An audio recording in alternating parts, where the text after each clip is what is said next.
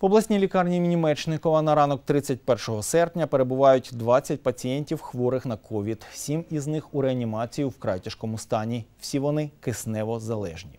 Інші 13 у терапевтичному ковід відділенні лікарні.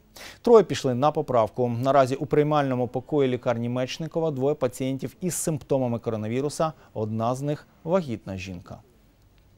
Я связываю такие показатели с несоблюдением карантинных мероприятий. А, Мне кажется, что люди расслабились, э, перестали соблюдать э, дистанцию, масочный режим, перчаточный режим. В связи с этим обстановка в Днепропетровской области в ухудшающем состоянии.